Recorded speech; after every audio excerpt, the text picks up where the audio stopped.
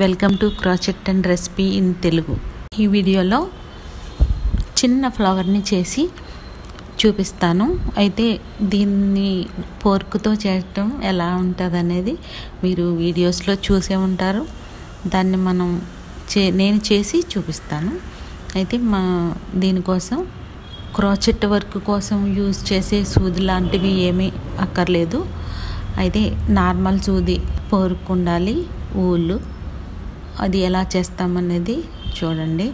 సూదిని పోర్కును ఉపయోగిస్తున్నాను. దాని చుట్టూ పదిహేను నుండి పదహారు వరకు ఒక ఫిఫ్టీన్ టు సిక్స్టీన్ రౌండ్స్గా వేసుకోవాలి. ఫస్ట్ ముడిలా వేయాలి. నెక్స్ట్ రౌండ్స్గా తిప్పాలి. అది ఆ తిప్పగా వచ్చిన ఆ చివరిలో ఊల్తో ఎక్కించుకోవాలి. అలా ఎక్కించుకున్న తర్వాత దాన్ని ముడిగా వేసుకొని ఫ్లవర్లా తీసుకోవాలి. అంతే.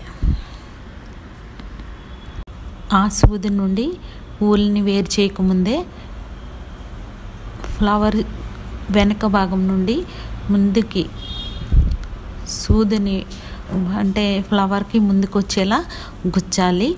అలా గుచ్చిన ఆ భాగంలో ఒక పూసని ఎక్కించుకోవాలి.